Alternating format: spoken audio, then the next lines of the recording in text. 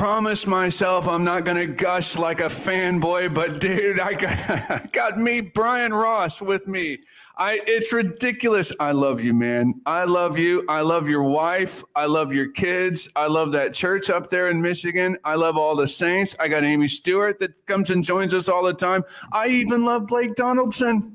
I don't know why. But I well, do. Thanks for having me on, Joel. Appreciate being here. I wore my Bigfoot shirt just for you.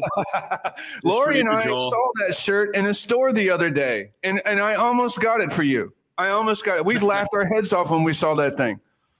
How you yeah, doing, we, man? I'm doing well. Yourself? I gotta say, you're looking pretty good. You're looking kind of buff. Are you working out now?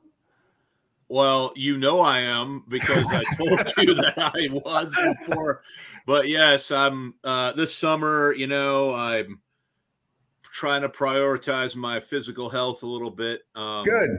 This is my first week off school. Good. And so I've, yeah, been trying to make some changes along those lines. A few more weeks of that, and you're gonna be ripped. You're gonna yeah. be ripped. Just like Dave yeah. Reed in the picture in the intro.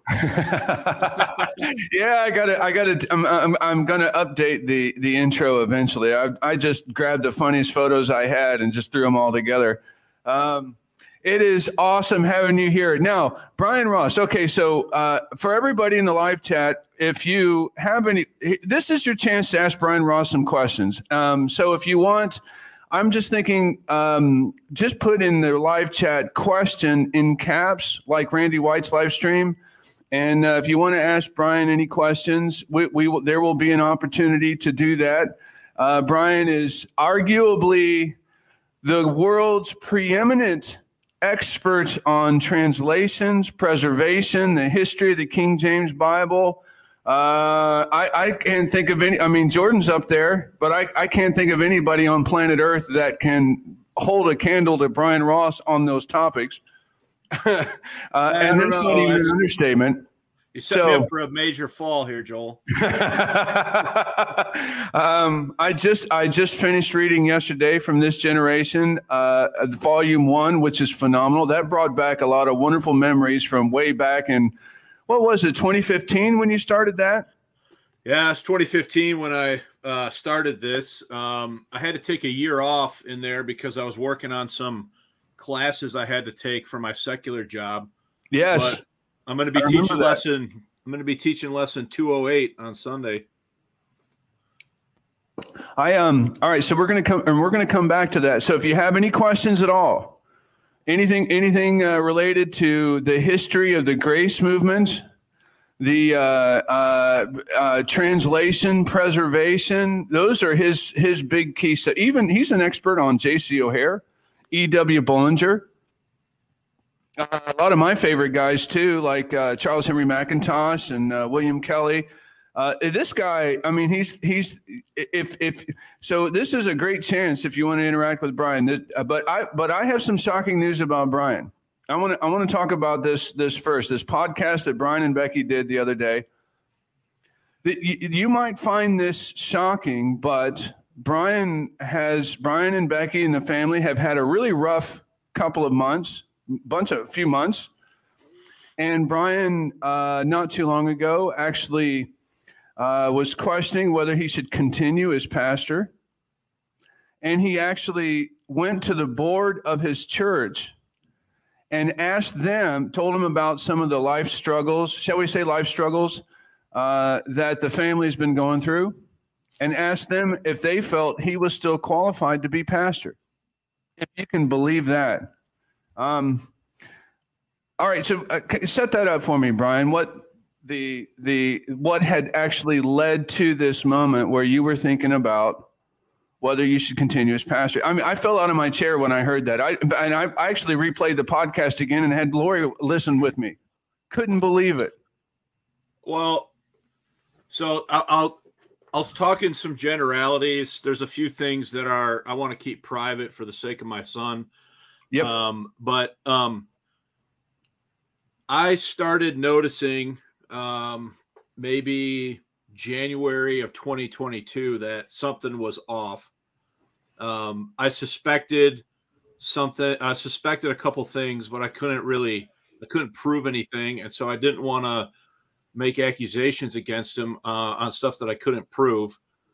So I just sort of watched, asked him a variety of times, you know, are you into this? Are you into that? You know, what's going on with you? And he, of course, denies everything and says that you know everything's fine. And I, I, I know otherwise just by the behavior. Things really started to get intense last August, a year ago, August, and um, some things happened and a lot of stuff. The dam sort of broke on what he was doing and what he was into. And then that led to just a really dark period of family struggle with trying to help him, trying to figure out what we were going to do. He was uh, he was on the verge of turning 18 and he persisted in doing certain things and you know, we had to say to him, look, you know, we don't approve of what you're doing. Um, if you want to keep doing these things uh, after you turn 18, then we're going to, you know, you're going to have to find somewhere else to live um, because we just weren't going to financially support it. We weren't going to like aid and abet it. And of course, um, I could read my Bible and I see in First Timothy 3 about uh, the qualifications of a, of a bishop or an elder in the church. And uh, one of the qualifications is you know that he's got to rule well his own house and his children are supposed to be you know not unruly etc and so um, over the fall of last year things just continued to build and um, i started to question should i still be doing this and so i in a board meeting i cl- we had i called for a closed board meeting and i laid out to the other elders everything that's going on and I just said to them I'm like, you know, uh, with you guys knowing this, are you, do you think I should continue to uh, serve as the pastor of the church? And mm-hmm. so then that led to, you know, some, some conversation and I got them involved. And then eventually after, and they, of course, they were very supportive. Um, they really came alongside me and my wife and my other younger son to, try to you know see us see us through this. Um, and then when he turned 18, he didn't feel the need to uh, stop what he was doing, and so we um, he did leave the house and has been living somewhere else for the last six months, pretty close now. Um, his graduation was in doubt. There was a lot of things that were still going on, and uh, eventually I had to tell the church, "Look, he's not going to be around." Uh, I gave some general statements about why he wouldn't be around. And I was very worried that there would be a lot of judgment and condemnation and uh, so forth, those kinds of concepts related to it. And what I found was just the opposite that people were very supportive and encouraging, uh, very willing to pray for us, to ask how they might be able to help. Led to a lot of stories of people telling me things about you know how they were when they were a young person and the, the struggle that they might have had with their own kids. So you know i i felt like it was a reasonable thing for me to be doubting based upon some of those verses if i should continue in that capacity. Now uh, there's there's a lot of a lot of things about that story uh, that I love, and I had a lot of reactions to it. And, I want, uh, and to start with um, your oldest son, I, I uh, to some degree, I see a lot of myself in that kid. I feel nothing but love and sympathy, you know, because I had my own life struggles. I had to get be be put out on my own in a similar way and uh, and it was turned out to be the best thing that happened to me you know? And uh, and yeah. i had to personally hit bottom for me to realize you know this whole i need to reprioritize my life. This direction i'm heading isn't there isn't anything uh, healthy or good about it. And there's a reason god is important you know? There's a reason uh, studying his word is important. Being with believers is important. I totally get it now but I had to learn that on my own because I was just, uh, and I grew up in a grace church like he did, didn't appreciate what I had until I lost it, you know, until I walked away from it. And then I didn't really truly appreciate his grace till I hit bottom and came back because for me, you know, the saints here at this church, I came back, I didn't know what to think. And the saints said, Look, you may have walked away from the Lord, but he never walked away from you. And yeah. automatically, I already appreciated the grace uh, you appreciate His grace even more after having gone through that, and it made me that much more passionate about you know the grace life. Yeah, uh, I would so, say he, he's been, you know, you, you evaluate your kids, I guess, on a couple different levels. Um, on a sort of a secular level, if I could say it that way, he did yep. manage to graduate high school. Uh, he just did that late last month, and he is maintaining, you know, yep. a full time job. Great. So, Great. like, I, am happy about that stuff. Great. Um, and he's safe. And he's, as far as I know, he's yeah. safe. But like, as far as the spiritual side, though, like, um, I'm i have yet to see any real sort of sensitivity to the things of the Lord or or, or that, and I just keep praying that you know that comes around. Um, with him. So uh, guys like us, guys like me, man, sometimes you just gotta go down that path and realize this is not good. I gotta I gotta change course here. This is not good at all.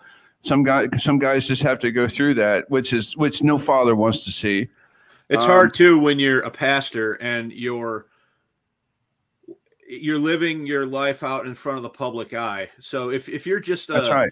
If you're just a you know a I'll say this word, although I don't like it. If you're just a parishioner at a church and you just attend, you know, you can kind of you're not you're not in the forefront of sort of what's going on like you are if you're you know the right. pastor and ministering and then i think you take that and you realize that he had that at church and then at school i was a teacher in the school so like he couldn't really get away from me i guess i don't know but um I think there's all of that stuff is kind of what he's used as excuses for you know why he's made some of the choices he's made. Yeah. There's a there's a whole other topic too. And you and I can both relate to this in the sense of it's not easy being a teenager growing up in Grace.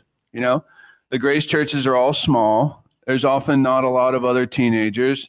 Uh, so you got to go it alone. And if you really care about the message, then you're stuck with uh, making friends at conferences and doing long distance friendships in some cases, which is not easy. Uh, when I was when I was young, I had.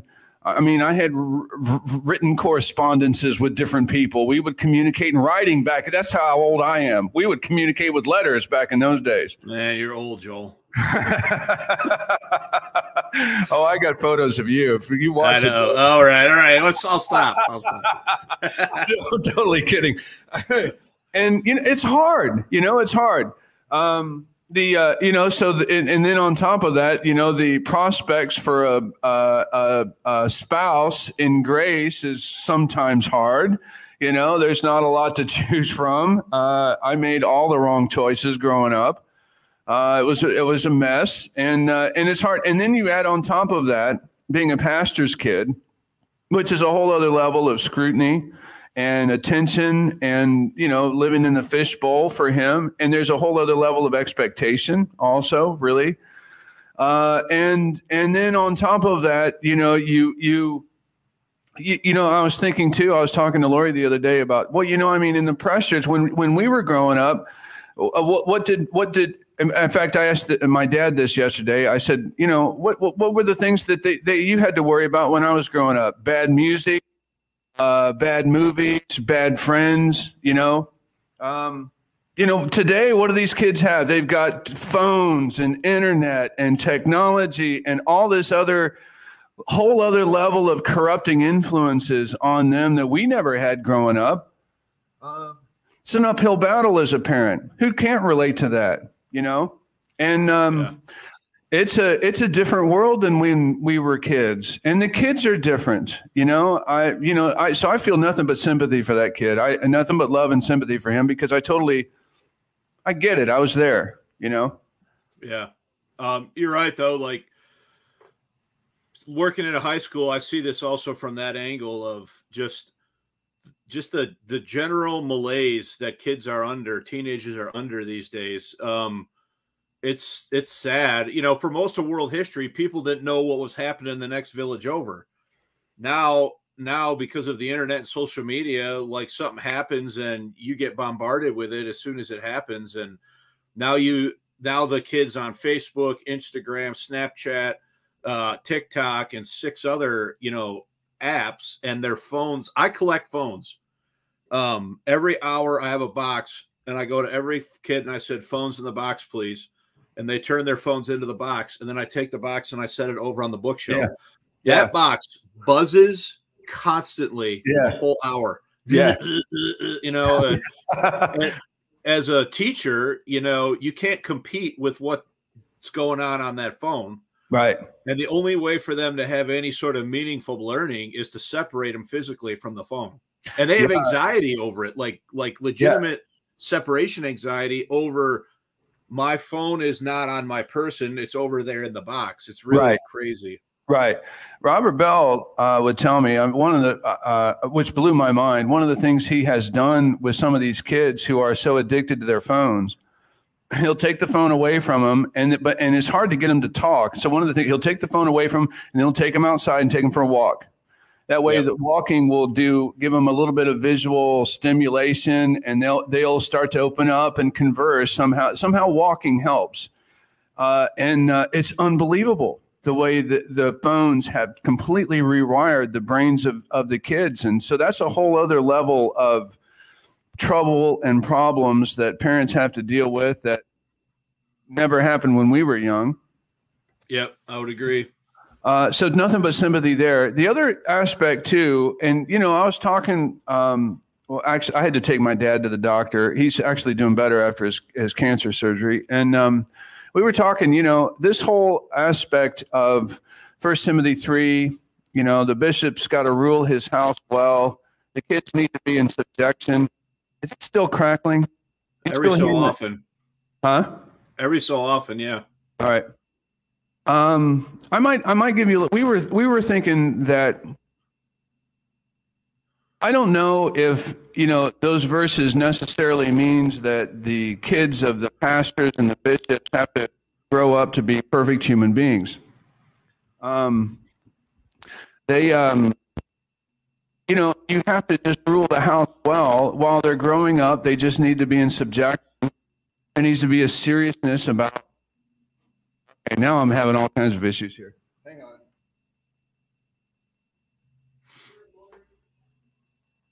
Uh, okay, let me let me. I'm gonna hang on. You want me to take over the podcast? yeah. All right. Speak to. Um. Okay. So for me, uh, all right, and real quick, for me, the um. I don't think I think you just have to rule the house well. It doesn't necessarily mean that the kids have to grow up to be perfect. And I think there is, uh, you know, the decisions that you and Becky have had to make in the last few months only demonstrate that you've been ruling your house well. I think.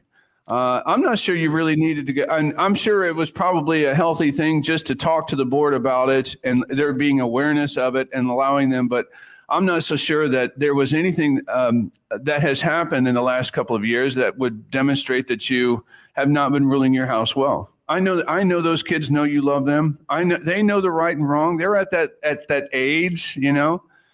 Uh, so Well, we've we've certainly tried to, you know, do what the scriptures say and raise them in the nurture and admonition of the Lord, and to teach them the truth.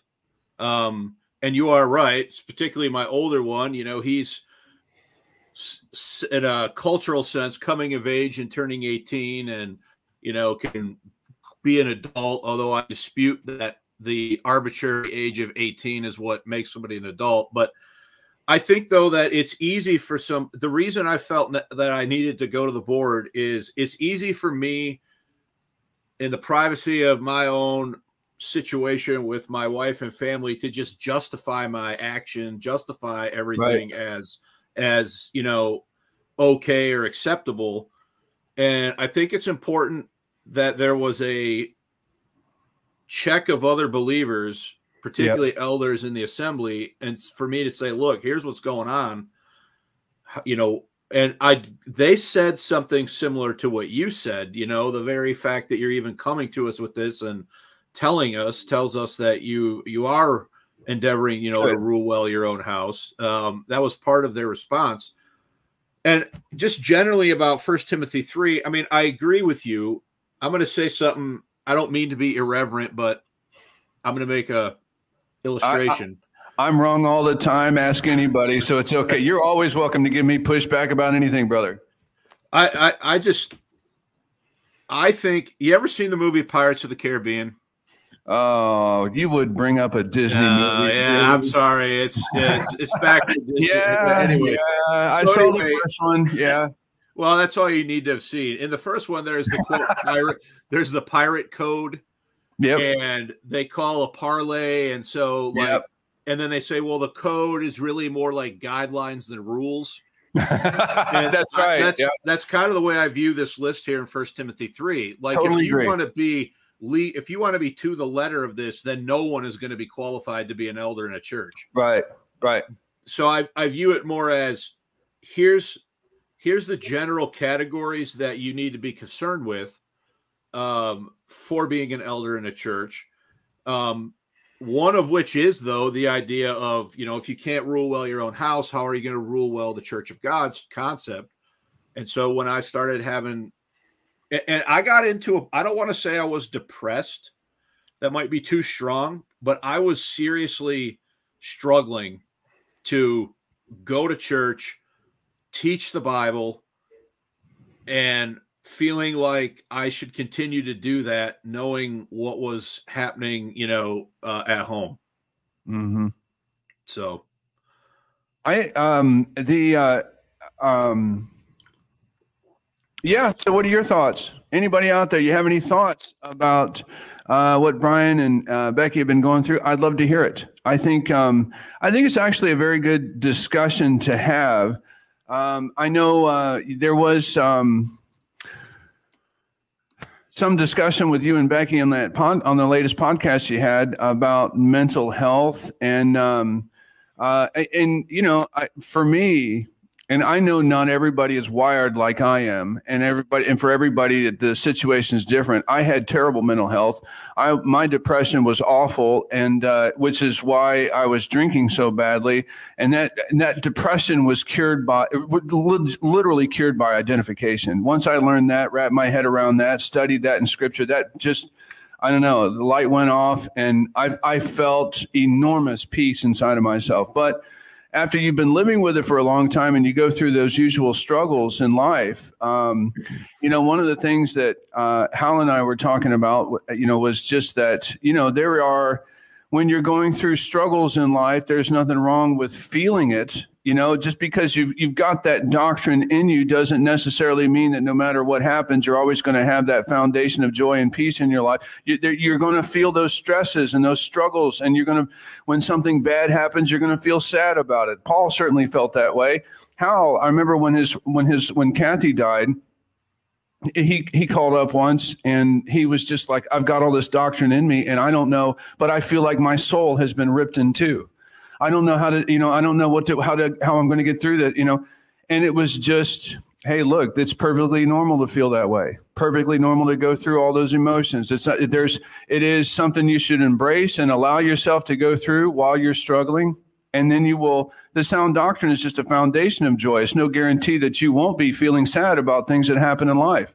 Do you have any thoughts about that pastor? What's your reaction to that?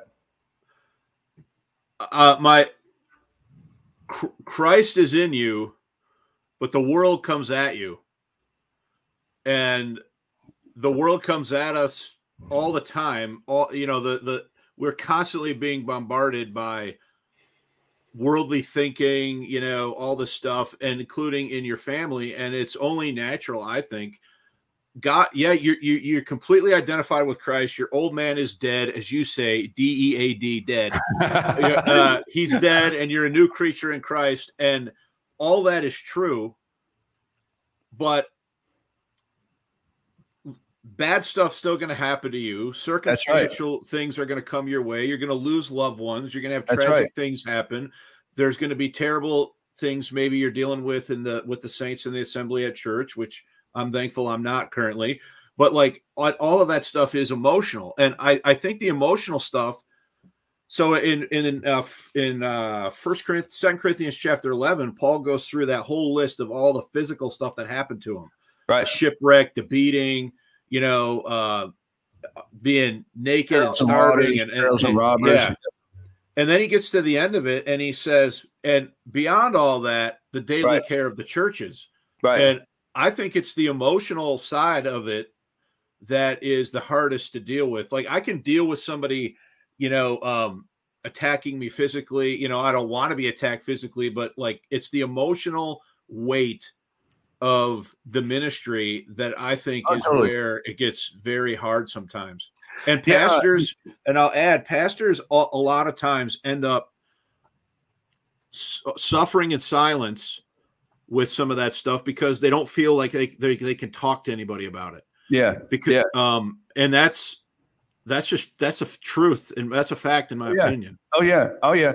I think, uh, pastors, it's, it is, there's an emotional aspect to it because, but Paul's pretty clear in, especially in the pastoral epistles, you need to be a model of love and charity. You need to be an example of it. You need to demonstrate it to the people, despite, regardless of how they treat you, what they say to you, what they do to you. You've got to be a model of First Corinthians 13. You've got to you've got to model that, you know, and that's hard and, and it's exhausting. And that, and that, ends up uh, meaning that a lot of times you have to eat stuff, eat yeah, your right. emotions, stuff them down. You know, trying to show grace and charity to people uh sometimes when like you're at you're at the end of the rope man yourself. And um especially with what happened in with covid um covid was excessively hard on me in our oh, ministry here.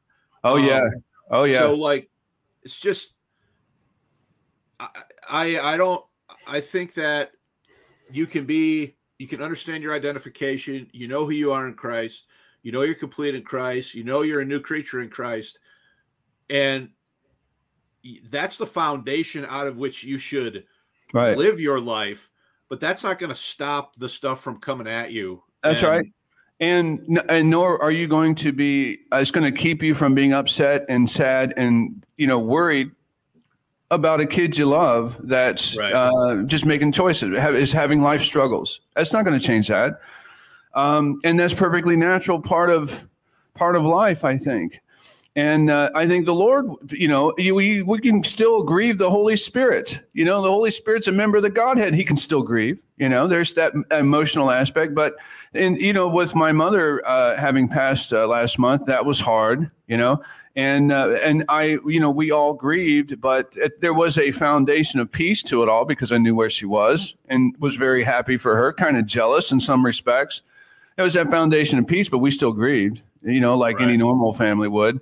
Yeah. Um, and and the other aspect of ministry that Hal continually warns me about, well, not continually, but he he sometimes talks about Doug Dodd, and Doug Dodd extended himself too much to he was just he couldn't say no to anybody or anything you know?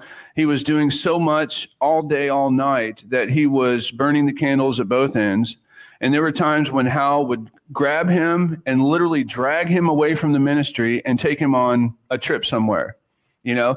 And Hal was always concerned about Doug's uh, weariness and well doing, you know? And it is possible to overextend yourself in the ministry and be emotionally and just intellectually spent to such a degree that you just, the burn is hard, you know?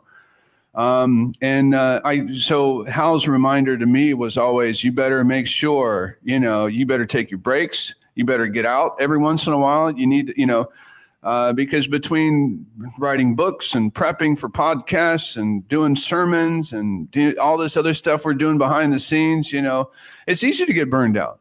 And uh, pastors, you know, and I think one of the aspects of being a pastor, you got to be not not be afraid to say no. That's what I learned from Doug Dodd. You know, I totally agree with that. I totally agree with that. And you know, I, I try to be upfront with our saints, especially. You know, I'm working a whole nother job.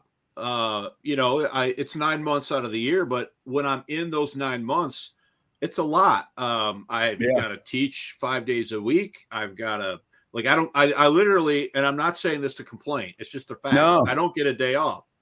Yeah. Um, so when Christmas break rolls around from school or spring break or summer break, I'm like, you right. know, I, I I truly try to take advantage of those times to step away from some of the teaching responsibility, give myself a break, um, you know, those kinds of things because and, and take and take vacations with my family that are non-ministry vacations. Right. Um, I I don't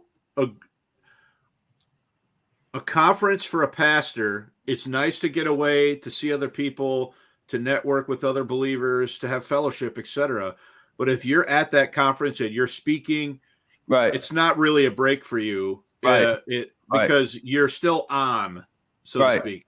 Right, right. Uh, and the uh, uh um, uh, uh, oh, I had a brilliant point I was going to make. The thing was just brilliant, and it's just totally escaped me. Lori's laughing in the back there. I had I had a brilliant point I was going to make. I can't remember what it was. All right. Uh, so, uh, uh, long story short, I I loved this. Uh, so Bryan and Becky uh, post. There's a link beneath the video. I've got links to all kinds of Bryan Ross goodies.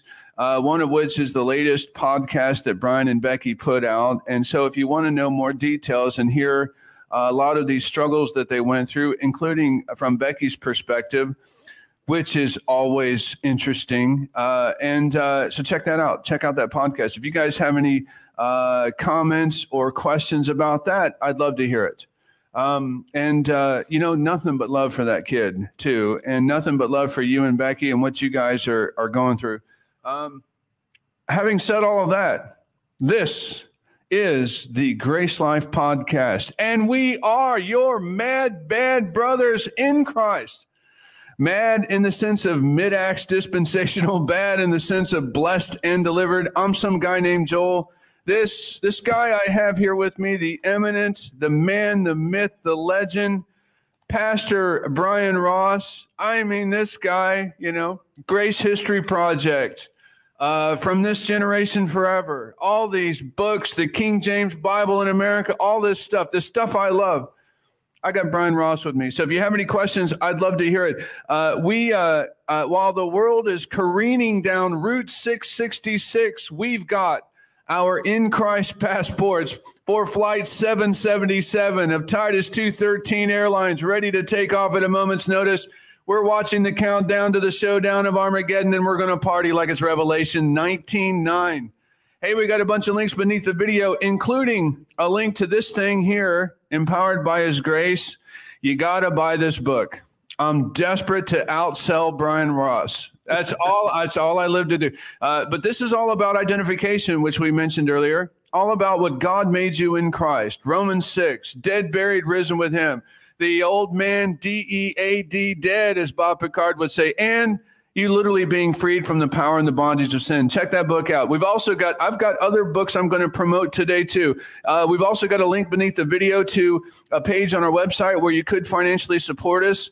And uh, if the, if the you can support us through if so if you appreciate the ministry these pastors everybody coming out and joining us and having fellowship it does take money to keep all this rolling so any help you could offer to support the ministry would be greatly greatly appreciated um, we also have um, I, have I've got all kinds of uh, Bryan Ross goodies, and let's just promote Bryan here for a minute. I've got let me see here. Uh, this is his YouTube channel, Grace Life Bible. You like Des Stridham? You Des is like Grace Way, one word. is is that Grace Life a one word thing too? I mean, you write books, no. right? no, I, it was actually I had a, a, a volunteer set that up for me. Oh, okay. Year, years ago, and that's all the right. way they did it. So, all right, all right, very I good. just never changed it. Um, and Bryan, Bryan's just, I mean, the thing is epic. Uh, these are all of his latest videos. You had a video you posted an hour ago. I didn't get a chance to hear it, but we're going to talk about this. If we get a chance, we're going to get to the dispensationalism book too, because I got questions about that. Um, live streaming, uh, it's just awesome. And then over here we have the uh, this is, he has the complete playlist from this generation forever. A couple hundred, 200 and what, three videos now, something like that? It'll be, it'll be 208 Sunday. 208 and Sunday. I'm up around 197, 98, something like that. I got to get caught up on the on all the preface stuff. Uh, can't can't wait to get into that. So from this generation forever, when he started this, back in 2015 i'm sitting I, you started this and i started it with you man i was sitting on my back patio with a stogie getting uh, seeing you start this new series and i thought you know what for the first time in my life I'm gonna I'm gonna listen to this and try to see if I can understand the whole King James translation, the history of it. That that would be pretty awesome. So I've been hanging with you for literally five years now. Well, no, longer than that, 15. So yeah, that's just uh, so it's just an amazing series he's done. Uh, here is his channel on Rumble. Awesome. I'm a follower on that. We're uh, there's his website. Look at that. Look at the oh, look at the ladies there. Isn't that awesome? By love serve one another. You should have the kiss one in there. Hey, you see that? That's Becky uh, singing there. Uh, I love that church building too. Um, he's got all kinds of good stuff here on his website. Also, you've got uh, the Gospels Project, the Grace History Project, which is, you know, arguably the thing that uh, really made Bryan hugely popular. His him coming to just going through the history of the entire grace movement, which is kind of a long history, uh, going all the way back to Paul, pretty much. Um, the uh, from this generation forever. Uh, so uh, he has his own Grace Life School of Theology online, which is awesome. Uh, and then the Grace Life Press here. How awesome is that? Don't pass over Easter. Uh, I was, uh, I don't know if I ever told you, I, you actually changed my mind on Easter after I read that book. All right. Yeah. I just yeah. did an interview on that yesterday on uh, Dwayne Green's YouTube channel. Oh, yeah. I like him. I like him. Yeah, I yeah, like Dwayne. He's awesome. and I like guy. the conversations you have with him because I am so not uh, schooled enough to have that kind of an in-depth conversation. I think that what you're doing with him is fantastic. Thanks. From this generation forever, I read. I've read everything he he has on this uh, on this page here. They're all great. They're all great. And then over here, the Just Grace It podcast. So I have links to all of this stuff um, uh, on uh, right beneath the video. So check it all out. My brother Bryan Ross. So here's another question, Becky She's working at your school now. You get to see Becky every day at school, right? I mean, what's that like? You've got, does she come and do you guys go have lunch together now? I mean, how does that Sometimes. work? Um, so she's working with a, a individual student that has a traumatic brain injury. Um, I would say we have lunch together maybe once a week. Um, it just sort of depends on what's going on uh, for her in the building on a given day, and then like what's going on for me on a given day. But um, yeah, I do see her at work. Um, kids have figured out that she's my wife, so now they're now they're like, you know, it's just teens being stupid. But um, uh, yeah, so it's it's good. I uh, I um I encouraged her when the job came open last fall, I encouraged her to to consider taking it because I thought she'd be a really good. Oh yeah, um, help to this girl, and um, I would say with I don't think I'm being too um, biased. I think that the girl succeeded uh, with my wife's uh, due largely to my wife's help. I believe it. I believe it. I can't imagine a better person for that poor girl uh, than than Becky. Uh, and Becky, uh, I remember she said that she has a um, uh, she got a scholarship, and now she's going to be studying uh, what uh, mental health and how to um, counsel um, more people, like what she just did. So she she has received a free scholarship to be a certified mental health coach.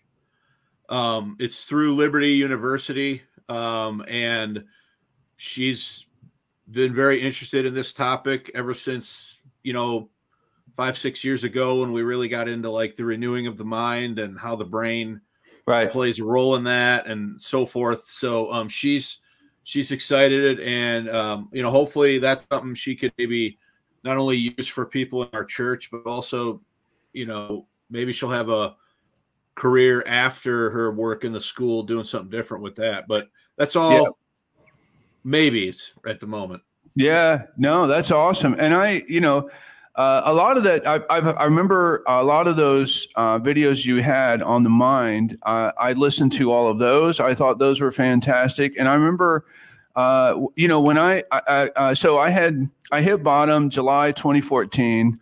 Uh, like the week later, I was in Fellowship Bible Church, and uh, I, I, had, uh, and I mean, I was, I remember Paul's your apostle. I still remember the gospel, you know, uh, death, burial, and resurrection, payment for sins. I remember that. I remember sealed by the Spirit, but I probably couldn't have told you where it was. I knew I had eternal security. That was about it. That was about it. So, I mean, I was, I came, I came, and I started hitting the word basically from scratch all over again and uh, started in Romans. And, um, and the point, and one of the things I learned after I learned about identification was, uh, where's your mind? That was what I kept telling myself a lot of times because my mind would go off in a direction and what it, in, in a, you know, in the, when I was depressed and I was just obsessing about things going on in the world, you know, and my mind would go in that direction and I'd say, where's your mind? What are you thinking about? And then steer your thoughts back over to scripture and identification and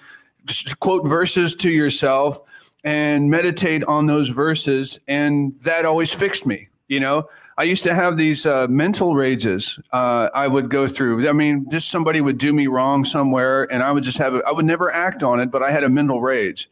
And after I came back to church, I had to, uh, you know, it was, I, I was, I was trying to, they started to slow down and they were less frequent than they used to be. But every once in a while, something uh, ugly would happen to me, and I'd be like, and uh, and I'd go into this mental rage, and I would quote Ephesians four thirty two to myself. You know, be ye yeah. kind one to another, tenderhearted, forgiving one another, even as God for Christ's sake hath forgiven you. Right. And the and, and the thing about that verse was not that I need to be tender and forgiving. The thing about that verse that always got me was as God for Christ's sake hath forgiven you. You remember how stupid you were, Joel? Do you remember the dumb things you did and God forgave you? You know, that to, verse to me was convicting more than guiding because yeah. I was just, all this thing I'm raging about was something stupid somebody else did was no better and no worse than the dumb stuff I've done that offended God, you know? And uh, so that that's what fixed me. But my my mantra uh, uh, for my own mental health was always, "Where's your mind? Where's your mind, Joel? What are you thinking?" You know, and then I'd have to quote verse to myself and get myself back on the right path. So every once in a while that that still happens, and I've got to steer my thinking. But um, uh, all the stuff that you guys you had taught about mind, enormously helpful to me. Another reason I just I love you guys to death. Um, I have another question for you, Bryan. Okay. Did you turn your van into a tripod? What? With just three wheels? You know, do you, you did you turn your car into a tripod with just three wheels, or did you put the fourth wheel back on your on your van after April? Your trip to Shorewood. Oh my goodness. yeah, first of first of all, that was my Nissan, not my uh not my van, but man, oh, that was oh, it's funnier in my I've head had, the van instead of the Nissan. Man, I I've had some nightmares, honestly, about all that. Oh man, the poor guy. He drives into Shorewood and his tire comes off. His tire comes off. His tire comes off the car. I was just couldn't believe it. So, like the just quickly, the rest of the story. I knew I was going to be going to Chicago at the end of the week, so I made an appointment with a garage to had my oil changed and my tires rotated and I just normal maintenance type stuff. And they called me and they said, well, and my car has about a hundred thousand on it now. So I was expecting there might be something that, you know, needed to attention or what have you. So they called me and they said, well, you need a, um, you need a new uh, wheel bearing, not a wheel bearing. Um, I forgot what it was. Something on the, what's that? CV joint maybe? No, it wasn't a CV joint. It was something with the um it's something with a wheel bearing, I think. But anyway, so they I'm like, yeah, go ahead, do it. So um I have the bolt right here. they put this this is this is my memento. So they inserted this, they inserted this, and they never tightened it. Yeah. So yeah. I drove all the way from I drove around all, the way, Unbelievable. all the way from Michigan to Chicago with this bolt in the in the repair without it being tight. Like I'm lucky we didn't die. And Yeah, I you turn are. into the parking lot at Shorewood, and it the tire just goes boom, and I'm like, "What's going on?" Then Ben Wanda found the bolt on his driveway at his house in Chicago, and I, I had lost the bolt in his driveway and still drove all the way to the church. Unbelievable. Yeah, it's pretty. Unbelievable. Yeah. Unbelievable. So, Yeah, needless to say, I went back to the garage, and I'm like, "You see this bolt? you need to give me my money back and pay That's for my towing and the repair and realign my front end and they did everything without Yeah. charging me because like that was a major uh, lawsuit probably waiting to happen for them Uh, yeah. Uh, there's a comedian, Ron White, who uh, I used to listen to when I was away from the Lord, and he has a whole thing about him going to Sears, and uh, the uh, tire. He's driving away, and the tire actually fell off his van. And uh, he's he's going to talk about this story with Sears until the lawsuit is settled. and he's like, "Yeah, the guy who worked on his van." the guy that you know he spent three days going to tire school. He's like well i guess he must have called in sick on lug nut day. It's unbelievable though like oh oh i know. It's like you can't get it's like our whole country and economy has like just forgotten how to do anything oh they've Um, lost their minds it seems like That's unbelievable. It's just We've had unbelievable. yeah We've had and it. usually yeah, most we- pla- usually most places will have a guy that'll come to your car and check and make sure all the work was done before they give it back you know yeah. Weird, great, uh, unbelievable. Okay, so I got to do uh, Damon Tin here. Damon Tin says, "Good morning, saints, and to our mad, bad, precious brothers of the mutual faith, which is Christ in you, the hope of glory, and a big welcome to Brother Bryan Ross. Grace and peace to you all. Um, the uh, uh, lots of love coming out to you. John Snodgrass somewhere says, "I love Bryan's voice." Larry and Colin, good to see you. Just have to say, Brother Bryan, I am loving the Galatian study. Always love the passion you bring as a teacher. Well, thank you. Uh, I was told I did not get to hear last Sunday. I've had a lot going on, and I was told that you did a big old identification uh, sermon. That's yeah, I definitely got into identification. Um, I love that picture. Joel and Bryan is hilarious. Yeah, I really miss that church. Uh, he's got the uh, you know greet one another with a holy kiss, which he believes, but he's not not about to not about to practice in today's world. Yep. Um, oh, Bob Picard's in the house here too. Uh, what do we? Uh, what else do we have here? Oh, Bob says. Uh, I had thought that I ordered the Rise and Fall of Dispensationalism as a, a pre-pub offer through Logos, but I didn't.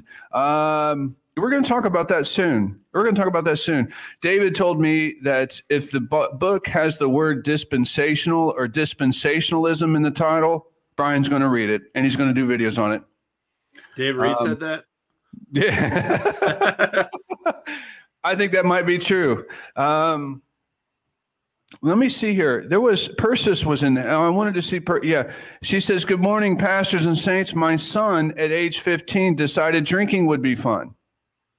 I gave him a choice to live in my home or elsewhere. He chose elsewhere. Decades later, he remains the uh, delightful man he was then, and more alcohol free. Praise the Lord. Yep. Yeah, good. Good to hear stuff like that.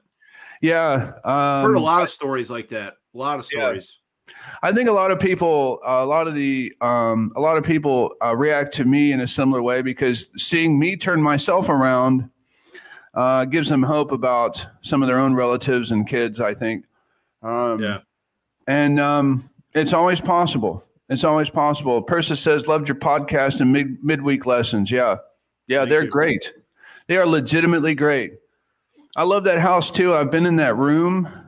Bryan's sitting in Uh, the office. it looks like the it, lo- the it looks like a kind of a normal a regular room but that thing's a broom closet uh, it's uh, i couldn't believe how small it was i thought it was a big old room i thought you know i don't know what i was imagining What are all those books you got behind you have you actually read every single book you have sitting behind you on this, on those on that bookshelf Is my wife listening? um, I would say not cover to cover, but I have used them all for something, which is Yep. why I have them. Do you, uh, when you read, are you slow or do you speed read or do you skim some some books? How, how are you in reading? Because uh, I go at different speeds depending upon what the book is. Yeah, so um I have different strategies I use when I read depending on what I'm reading. Um one of the th- one of the things that is huge for me is what I call footnote mining, which is a, a little bit of a slow process. So if I'm reading a book and a guy says he makes an assertion, I go to the footnote and I'm like, okay, where did he get this from? And then I go and try and find that. Yeah. So I have accumulated a huge Dropbox file Yeah. PDF documents uh, from just stuff that I have categorized, and then I can search the documents to find stuff. Yeah. Um, but I tend to read. I tend to, if I'm deciding if I'm going to buy a book, I read the forward, the introduction. I read the, I look at the table of contents. I read the epilogue or the conclusion, and then I look at what books did they use to write the book, and then I decide do I need to have this book or not.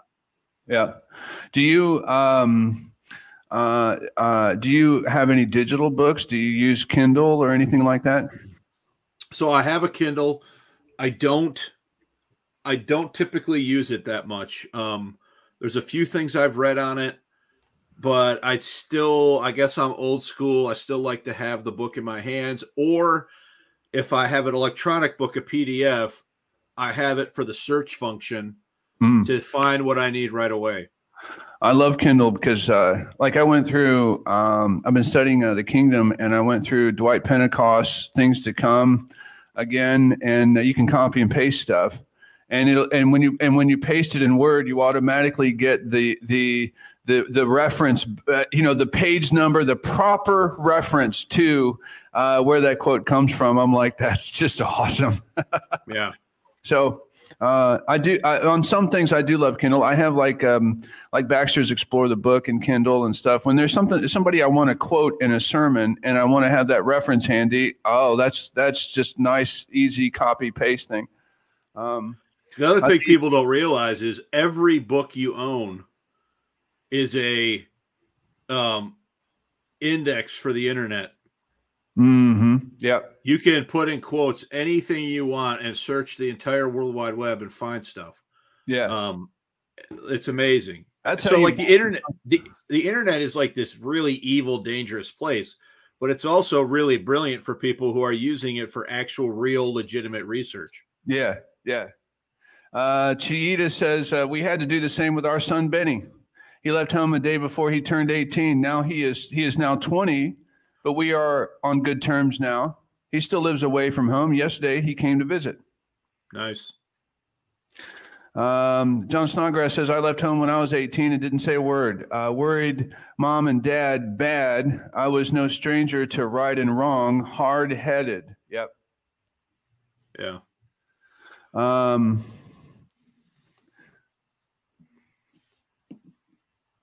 uh, Amy Stewart says maybe I could be labeled a fangirl. Yeah. Um, uh, Bob Picard says it's so important to be as transparent as possible with the congregation. They need to understand that we are all fleshly uh, humans who err. Totally agree with that.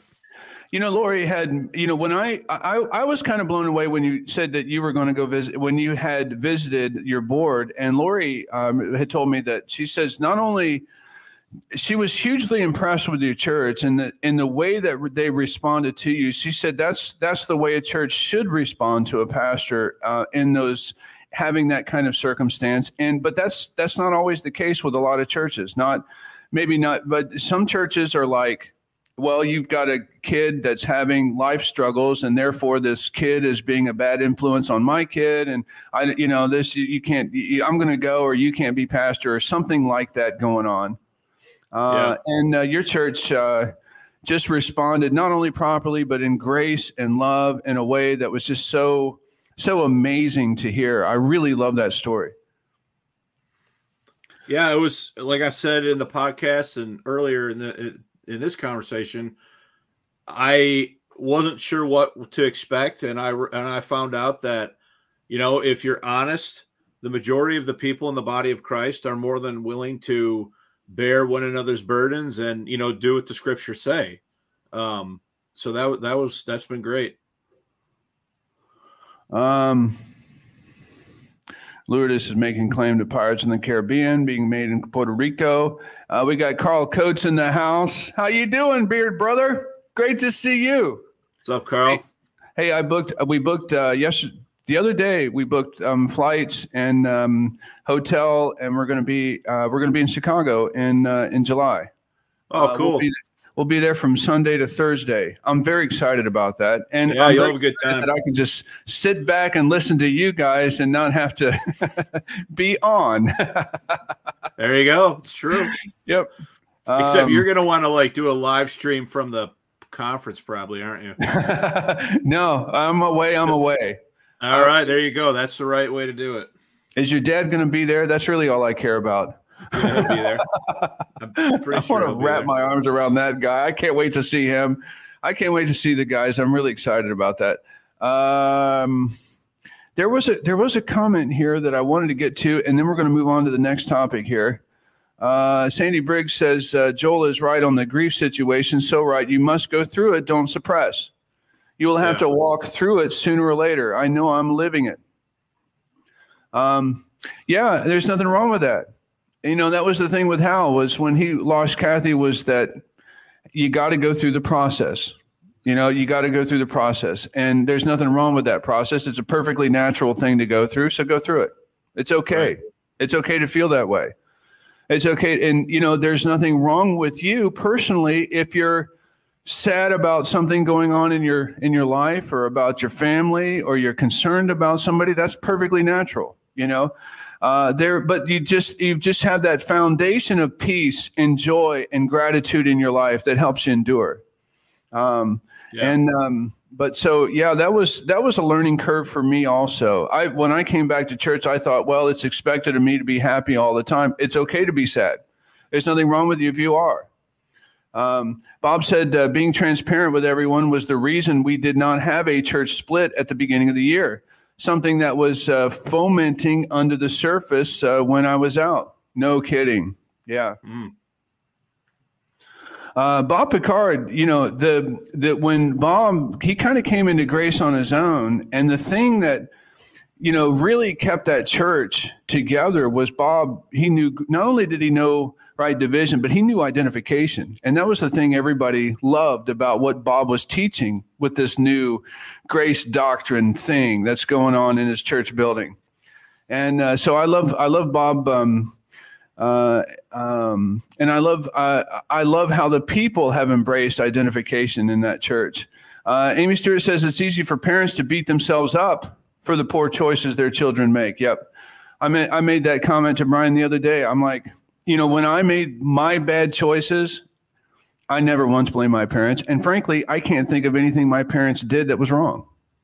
I can't think of anything they did that where I would say, well, it's mom and dad. They didn't love me enough, or they didn't do no, or they didn't give me any guidance, spiritual guidance. No, can't say that either. There was nothing about my parents. I could I could Yeah, Amy's, think. Amy's right. I, Amy's. By the way, Amy's a great saint here at our assembly. Um, but I, she's right. You know, you do beat yourself up over s- stupid stuff your kids do.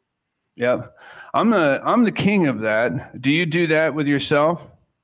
Do you ever beat? I don't. I I, I beat myself up over every every little thing. Uh, I pretty much hate every sermon I do. The podcast, I try not to think about it, or I'd beat myself up. Um, I don't. I mean, not really. I will listen to uh, myself to see if I said something the way I wanted to say it, but I don't really dwell on it. Uh, Jay Peeler quoting the first two verses of Colossians 3. Uh, Amy Stewart says, We believers are the children of God. Imagine his heart when we are not living the blessed life he has given us in Christ. Amen. Amen. Um, is there anything else here? Um, all right. So, this generation forever the epic book. Let me see if I can get over here and uh, It's this book here. I just read it. This one, This Generation Forever. Um, now these are what what I these are the first. These, these are all the sermons you did for Sunday school. Uh, that first year you started this. Uh, you start you started that series, right? So what? Maybe yeah, yes, twenty or so. The first uh, twenty-seven uh, lessons. Twenty-seven lessons. Okay, all right.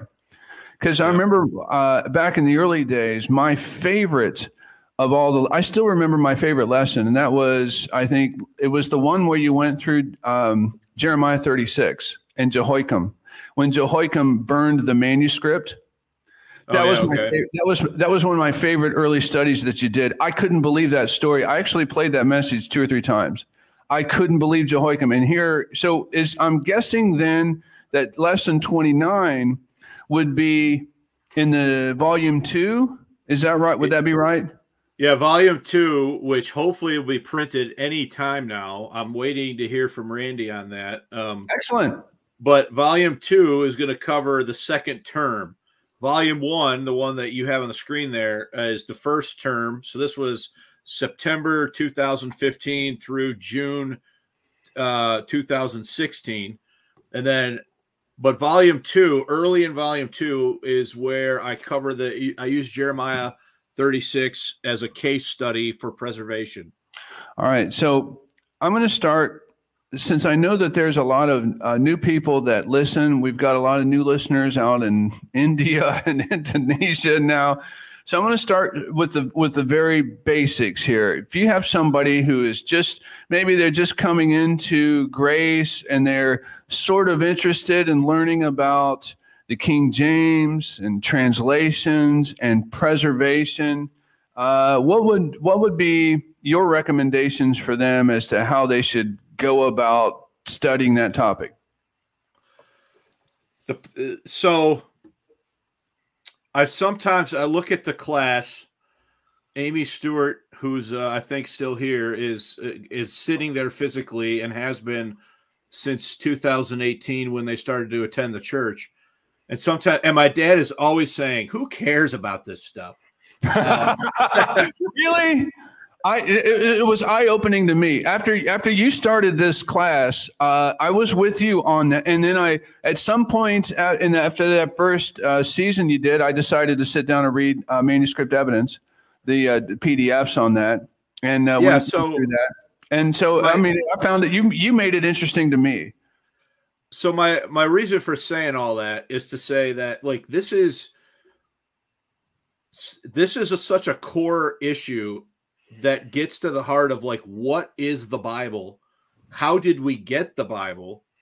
And how do we know that the Bible that we're using is reliable or not? Right. And there's so much stuff like uh, I have a whole wall, it's off camera here, of stuff, of books that have been written just on this issue of what theologians call bibliology or your doctrine of the Bible, inspiration, preservation, you know, etc. Um, so there's a lot of rabbit holes that somebody could go down and immediately get either what I would consider not good information or lost in the weeds. Um, I, I mean, the reason I decided to put these in a book form is because I wanted the class to have legs beyond just the videos.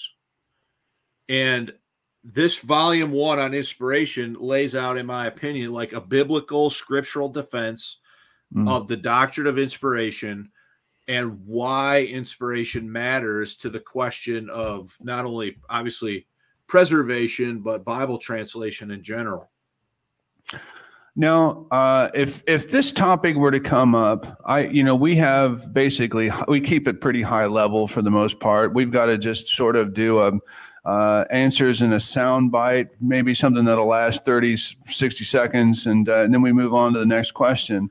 Uh, but I would recommend, I mean, if somebody's starting out, I would certainly recommend manu- get it, reading the PDFs of manuscript evidence. Uh, and then, and then I would just say, go to Bryan, you know, go watch the From This Generation Forever. It's addictive. There's something about history that if I don't know how it is that you make it interesting I don't know. It's like you find the drama of something and you go right to it, and you, it's just always interesting when you teach it. Uh, and uh, you go through the whole history, or read uh, the uh, first volume of This Generation Forever, um, or just read the PDFs from the series. I like I uh, I prefer reading than I do listening to messages. You know. Um, so I prefer, I love to read your notes more so than than listening. And um, I, you know, you had also mentioned, I think, in your in your book that you recommended, I think you liked the books of David Norton. Would you still recommend those?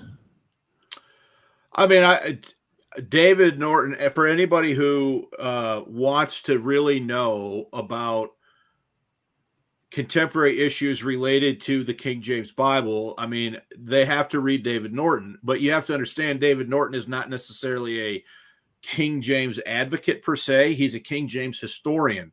Right. So he's going to say some stuff that, you know, you're going to have to sort of filter out.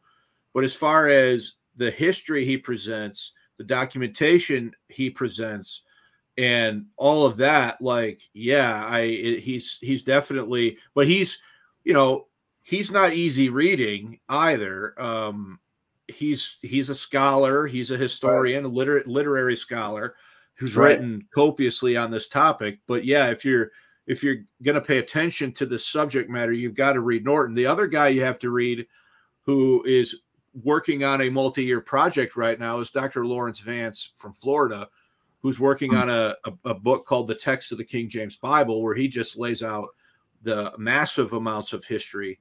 So, like, what I'm trying to do is read all that stuff and filter all that stuff down so that on the popular level, more people can sort of digest it. What um, you had mentioned, I think, uh, that you know some people when they do a deep dive on this topic of translations and preservation and stuff, uh, some in some cases they become KJV only, and then your book had cited another case. I think it was this Bart Ehrman.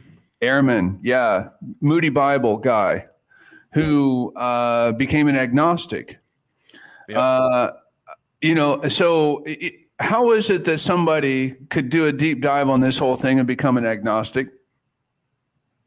Well, what I argue, and I, I, don't think I'm arguing out of turn either, because I have his book over here, uh, misquoting Jesus, where he goes through his own personal history, how he got saved. He went to Moody Bible Institute.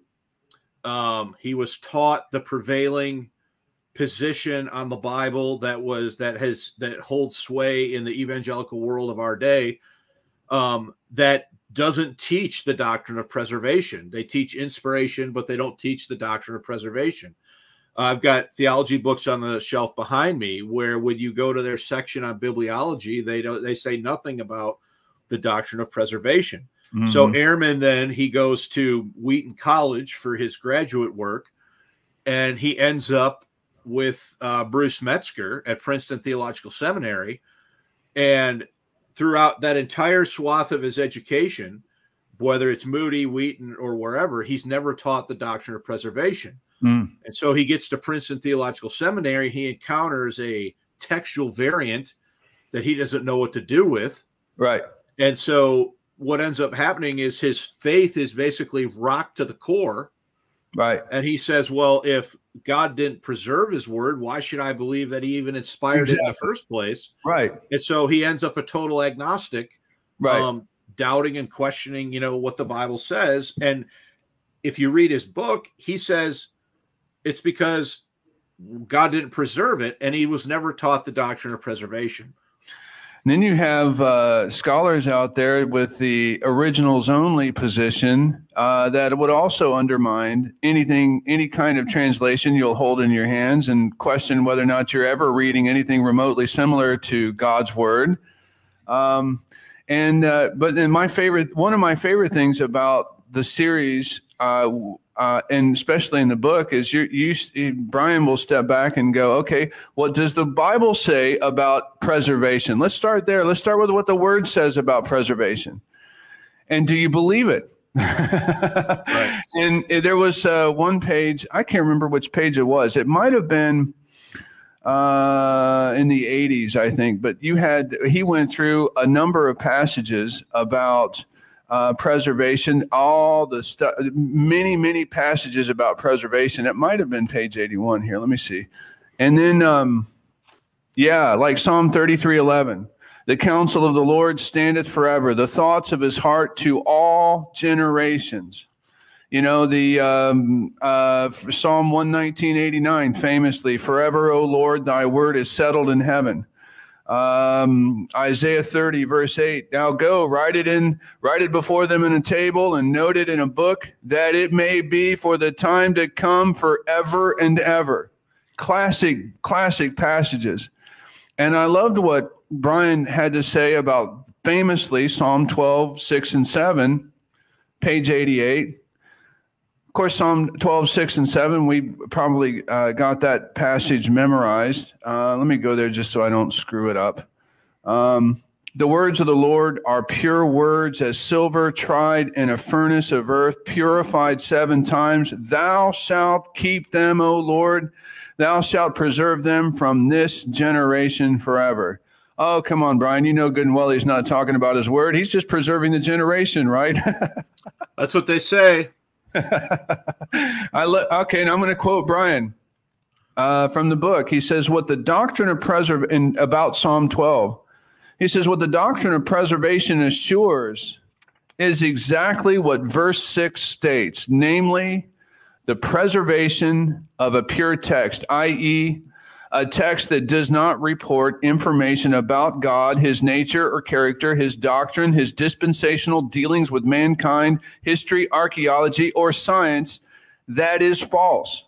In short, God's promise to preserve his word assures the existence of a text that has not been altered in its fundamental character or doctrinal content despite not being preserved in a state of verbatim identicality.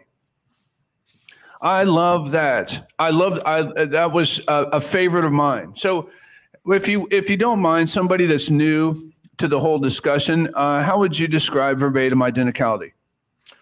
verbatim identicality is the assumption. So let me back up uh, people talk about plenary verbal inspiration, the idea that God inspired every word. It wasn't just the thought, the concept, the idea, but the very words that God gave, the graph, the graphe in Greek that he gave by inspiration of God, that he's inspiring the very words of God. Now, what happens is people then they say, well, then that must require plenary verbal preservation, and there can never be any differences of wording of any kind.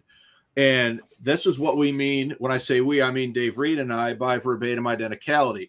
So I could say that I went to the store at 6:30, or I could say at half past six I went to the store.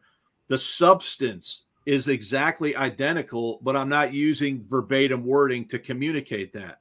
What happens in the conversations about preservation, text, and translation is people assume that it has to be verbatim identicality as the standard. Mm. The mm. problem with that is you just can't sustain that across all of the different levels that are necessary in a conversation like this because they're just what the scriptures approve of is verbal equivalence um, substantive doctrinal equivalence they do not demand or necessitate verbatim identicality wording mm. Um, the uh, I, I, had all my life. It had always bothered me. Uh, examples where you don't have verbatim identicality, where somebody quotes the Old Testament, you know, and it's not exactly like the way it's written in the Old Testament. That always bothered me, and I didn't I didn't understand uh, how to how to how to think what to think about that until your series came along for me, and the, and the whole discussion about verbatim identicality. Uh, you know, you take for example, uh, the you had the example in your book, Luke. Uh, Luke 4, Jesus in Nazareth opens the scroll up and he reads Isaiah 61, 1 and 2, famously. Ends it mid ends it in the mid middle of the verse. And it always bugged me that you don't have an exact replica in Luke 4 with what you have in Isaiah 61. And I remember thinking, well, even I mean, wouldn't the translators know? Okay, look, I mean, yeah, you've got, okay, so they translated um, from Hebrew into English and it's this. And well, clearly the Lord is, is reading probably Hebrew and I'm sure it's translated into Greek and then the Lord, and then it's translated into English. And then I'm guessing the Lord, well, wouldn't they know he's quoting Isaiah 61? So wouldn't they go to the trouble to make sure it's exact replica when they translate it into English? But no, the wording is different and and that bugged me growing up. Uh, you well, have not only is the wording different, but Christ. Uh, that's a that's an interesting situation there because he's handed he's holding a manuscript copy of the book of Isaiah. Yes, and when he's done, he closes it, hands it back to the minister, and then the text says, "This day is this scripture fulfilled in your ears." That's right, but it's not a verbatim match to what to Isaiah sixty one, and it's not an original either. the copy was called scripture. Yeah, exactly. Another one. Um, so I just have to do this. Can I present? I would love for you to present anything you want to present, brother. Yeah, right, I'll display so. anything you like. I just uh, that was one of the and the, and the way Bryan explains it with verbatim identicality is something I loved because it doesn't it it doesn't have to be exactly the same wording so long as the it's the same thought. And you can so have wording to yeah. convey the same thought there. So here's another one that i've just hit on recently that i find fascinating. And it's this famous passage about the lilies of the field okay? Yes. so here you have luke 12 27 consider the lilies of the field how they grow. They toil not. They spin not and yet I say unto you that Solomon in all his glory was not arrayed like one of these, right? And then you have a parallel passage in Matthew 6 where he says, um, and why take ye thought for raiment? Consider the lilies of the field. They grow not, they toil not, neither do they spin. Okay. Right. So the Greek in both of these is identical. The Greek, the Greek wording, everything is identical in both of these verses. But notice how the translators don't render them the same. Here they say they grow, they toil, uh, they spin not. Here they say they grow, they toil not, neither do they spin. So Luke is more of a like a literal rendering, and Matthew 6 is more of a stylistic rendering, but they're communicating the exact same doctrinal content without having to use the exact verbatim words. Right. So the, uh, that, is that uh, would you consider that to be an example of the uh, translators intentionally uh, putting variants in there in the text? Absolutely. They say in the preface that they did not uh, that they did not use a uh, principle of rigidity or lock themselves into a uh, uniformity of phrasing or an identity of words. They say mm-hmm. that in mm. the preface. So as long as a given translation captured the sense of the original language they were they felt themselves free to use english synonyms to state in english mm. what the text says in hebrew and greek now i had before you started that series i read uh, baker's uh, book on understanding the gospels which i loved and i had one uh, that helped clear up for me uh, questions i always had about well you have two or three accounts of the same event you think, and yet the wording of the things the Lord says in one account versus another account are different. And how do you explain that? And uh, uh, I think, um, you know, if you given uh, you let the Lord speak for an hour, he'll probably repeat himself a couple of times for the sake of clarity and teaching. And uh, so it could be that one of the writers or the Holy Spirit is highlighting uh, the way the Lord said something at the beginning of the hour, and then you know at the end of that message, you know another writer is highlighting something else in which he is reiterating that same point in that same sermon that he's given, or maybe on a given day the Lord has said that same parable two or three times just for the sake of you know people learning it. And um, uh, would you agree with that?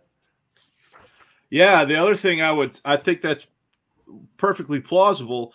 The other thing that I would say is what I talk about in chapter 21 of volume one about undesigned coincidences. Yes. And, and the fact that you see the fact that there are specific places where the New Testament writers will say something that seems like a one off, where you're like, well, why did he say that? Only to have it triangulate with a, a similar type of a one off statement somewhere else, where you're like, wow, you know, um, that, that really makes sense. Right. So I give I give a bunch of different examples of that uh, in the book where that happens. Do you? Uh, uh, let me ask you another question. The uh, on this generation forever, uh, are there? Do you think that there are books that have come? I mean, you, I think you have literally read every single book that has ever been written on these subjects. Do you think that there are books that have come out maybe in the last decade or so that have uh, shall we say, presented new information or uh, a new light on the subject that might change your perspective on translations or or the King James. Um, and I'm thinking so, like, go ahead. Well, I have never wavered from a pro King James stance. What what I have changed is my defense of the pro King James position mm-hmm. based on what I would say is better information. So yes, in the last in the last I'll say 50 years research has come out that is very helpful in in giving a more updated view on how we should think about some of these things.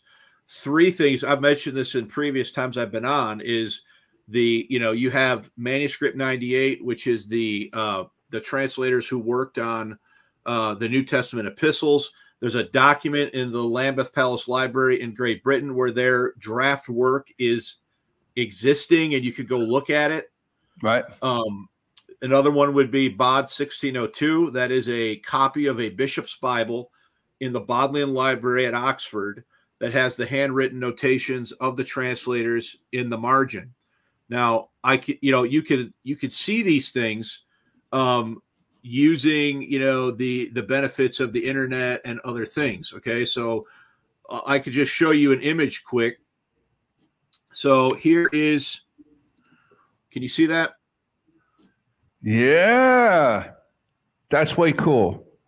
Okay, so this is this is Bod 1602. So you can see up here at the top of the screen, Bodleian Library Bible English 1602. This is a 1602 Bishop's Bible and you see these notations, this words written in here.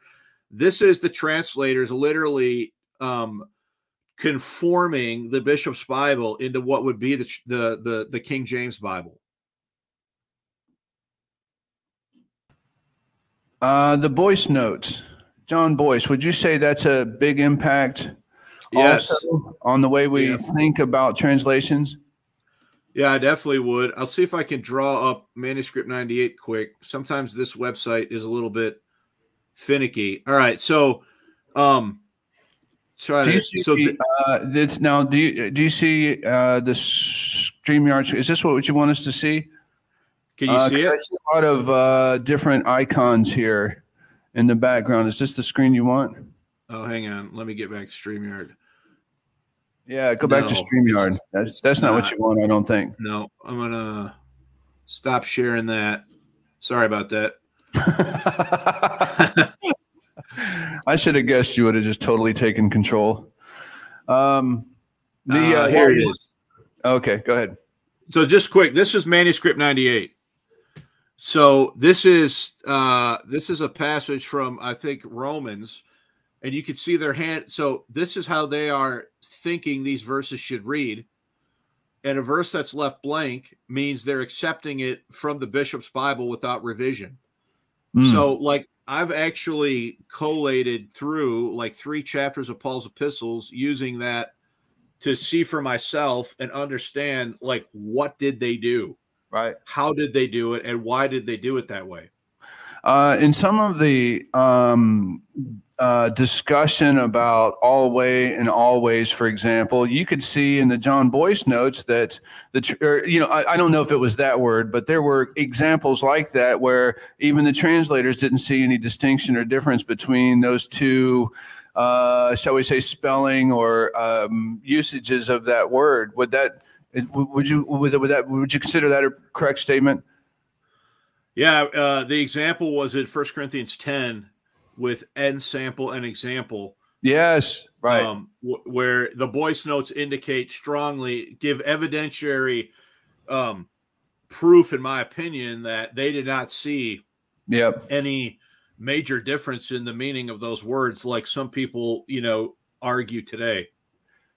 Um, would you be able to? I mean, how would you, after having read these books, how have you changed in your thinking after all of this study? Or can you even begin to articulate any how your thinking has changed over the years since you started this in 2015?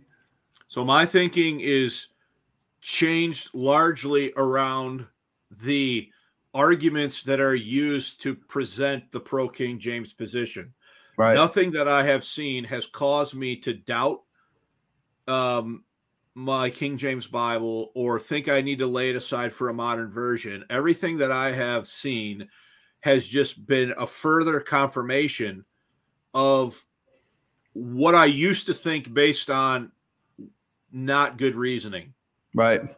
Do you think that God has intentionally allowed all of this to exist uh, as a way of just challenging your faith? You're going to trust think, God on what He says about preservation and look at the historical evidence and still believe?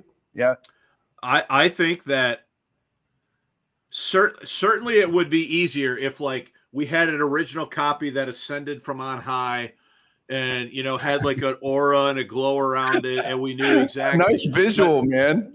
But what god has done is he has put us in a situation where he's requiring us to walk by faith on this issue the same as we do on any other issue related to the scriptures. Right.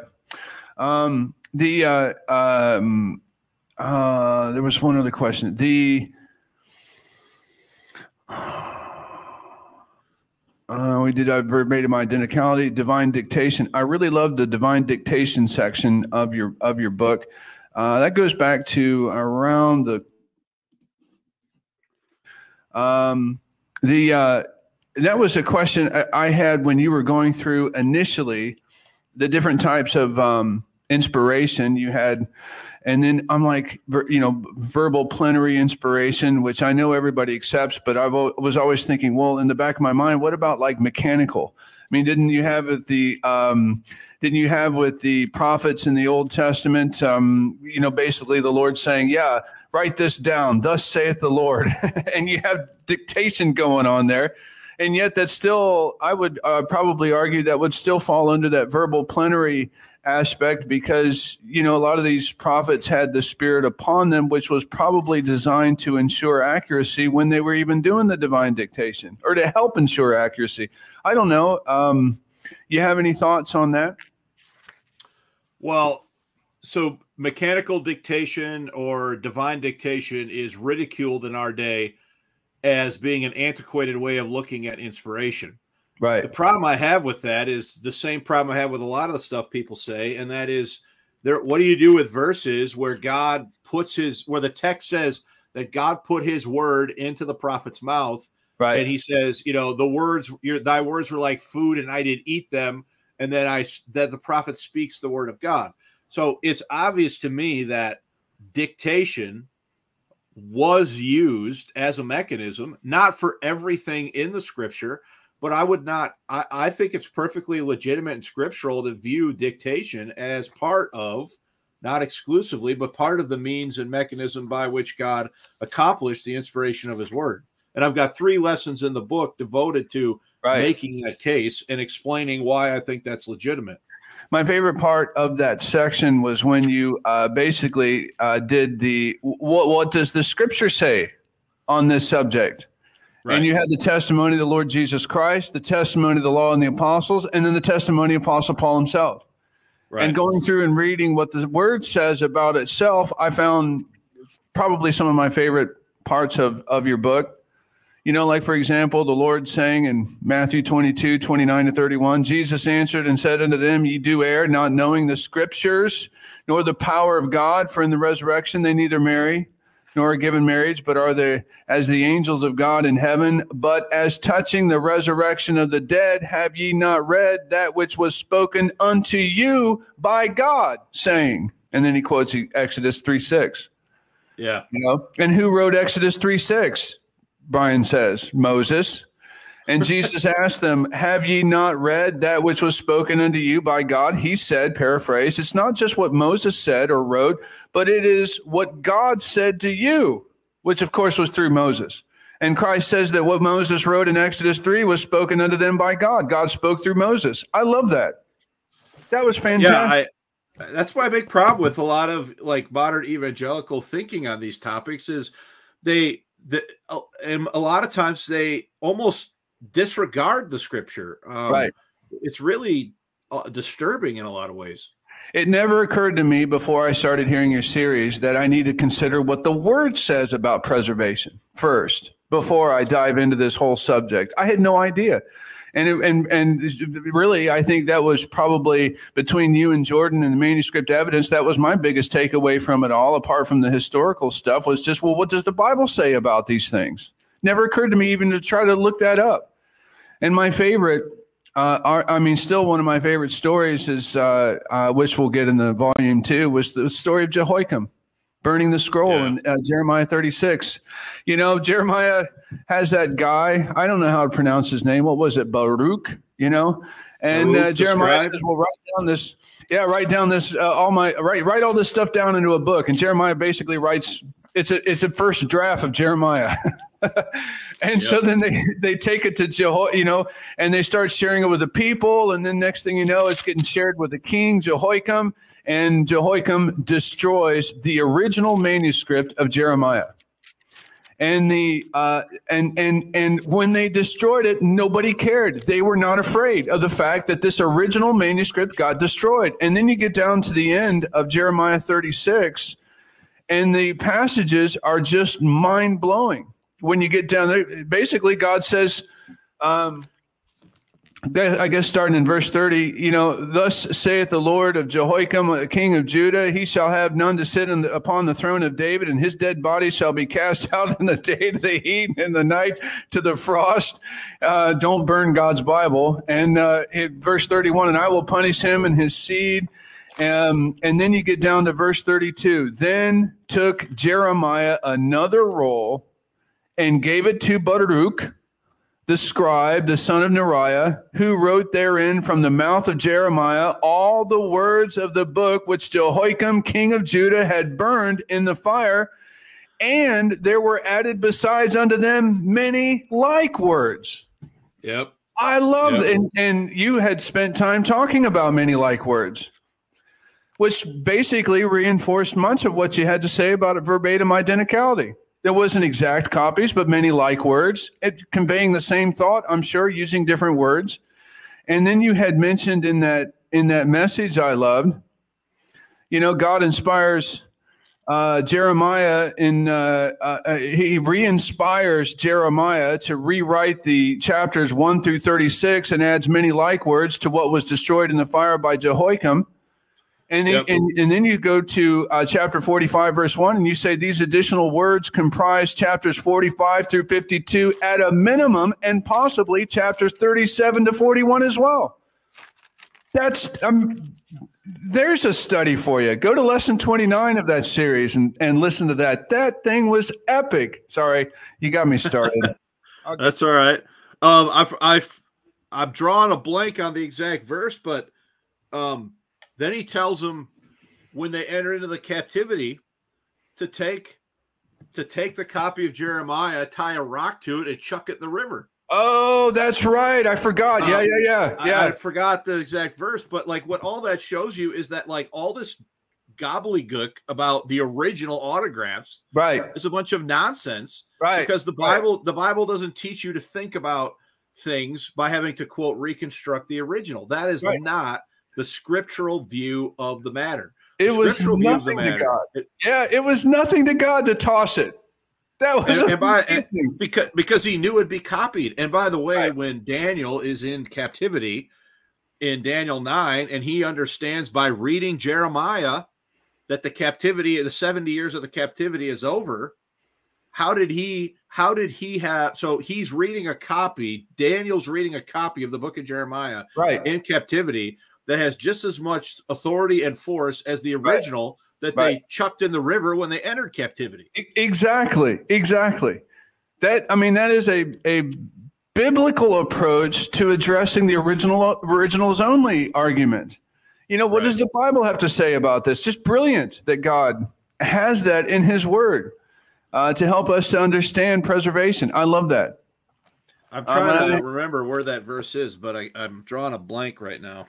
Uh, let's see here. I could probably, uh, I'm sure, uh, if I had, what I need is a staff of people here. Uh, uh, uh, come to the rock, facing the rock, hold of a rock, the rock of the plain. Um, Uh, somewhere there. I don't see it. Uh, yeah, I don't, if, I if you guys can find it, that'd be that'd be awesome. I have to I have to share Amy Stewart's uh, comment here. Um, uh, I wonder if Bryan wrote a book on identification, how it might compare to your book, Joel. I would I uh. would completely embrace anybody else. You, you can't have enough books on identification. You know, you can't. Would, it would be chock full of Joel quotes. um, and then you have John, this this uh, John Snodgrass here says, "I'm addicted to Bryan's voice." Me too, brother. Me too. I'm not sure why. I but I'll okay. I'll take it. I'll take it. But I, I'm not sure why. Are you like uh, every other pastor I know who basically hates the sound of his own voice? Does that bother um, you? No, like I don't Good. like I don't hate it, but like it's not like I will sometimes listen to myself to remind myself what I said about something, but I don't as a habit sit there and listen to myself. Um sometimes I check to uh I I'll listen to the sound. I used to listen to myself a lot when I first started because I had a lot of critiques about the mistakes I was making, but um I have a hard time sitting through a, a message. Yeah. Um, Bill Behrens is going to be there, registered and reserved a room and time for the Family Bible Conference in July. I'm going to be there. We're going to be at that.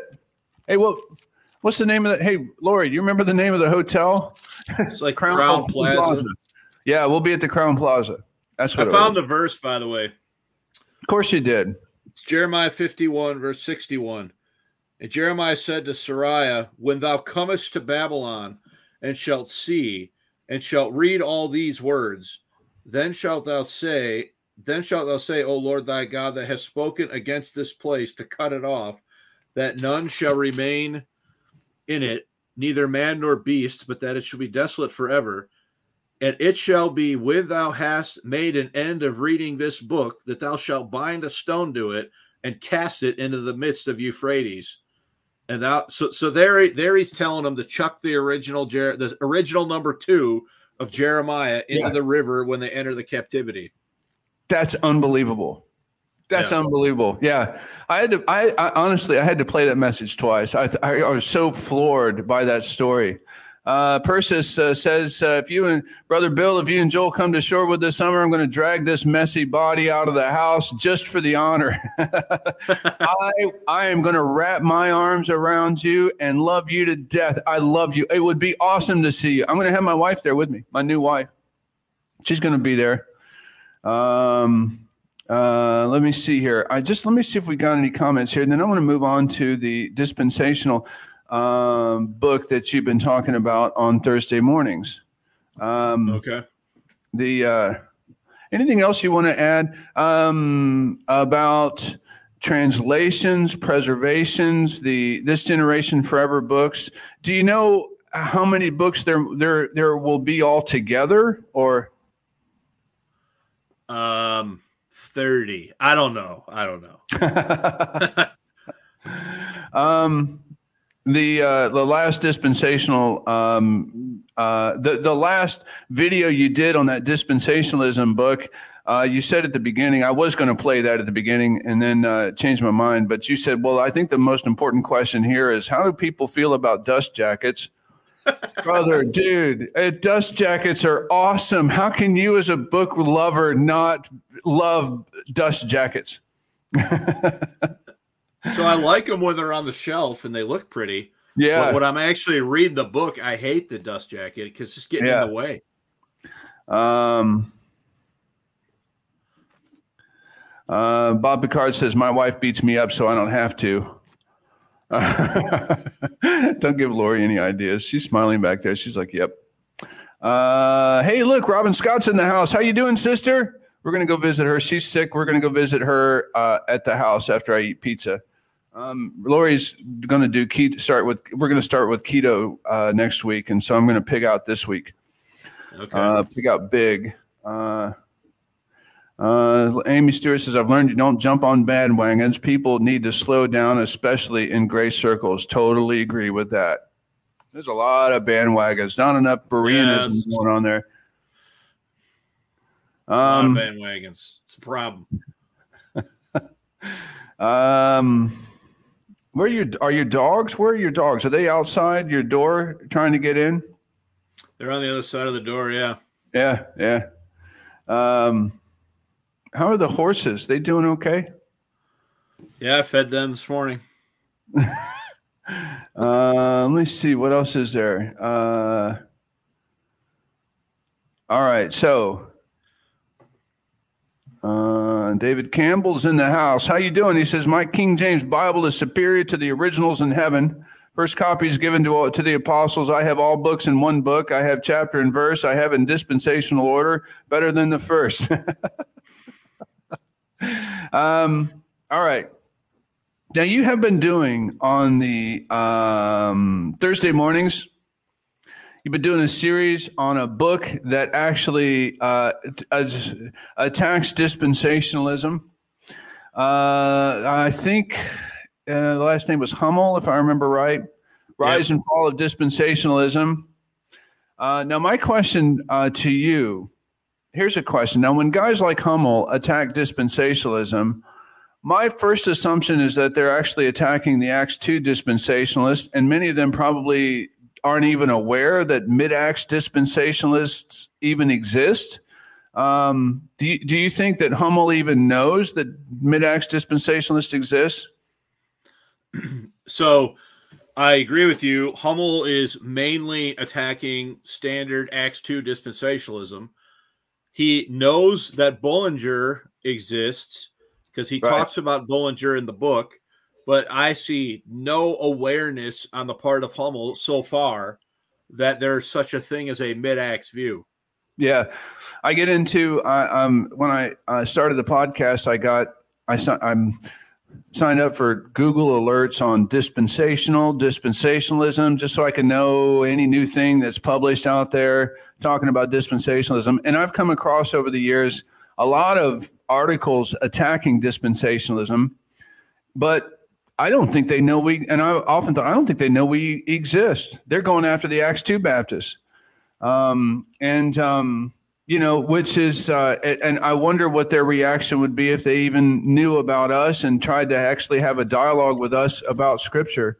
Um, and I don't even know, and uh, it feels like um, that you know the assault on the Acts two dispensationalists has been pretty pretty harsh, and then the Acts two people have been coming out with a lot of books too that are really kind of harshly uh, punching back at a lot of the attacks that have been hitting them. I just uh, read one not too long ago, um, and um, what. Um, so, and then in the middle of all of this are the people that know the truth that we mid Acts guys.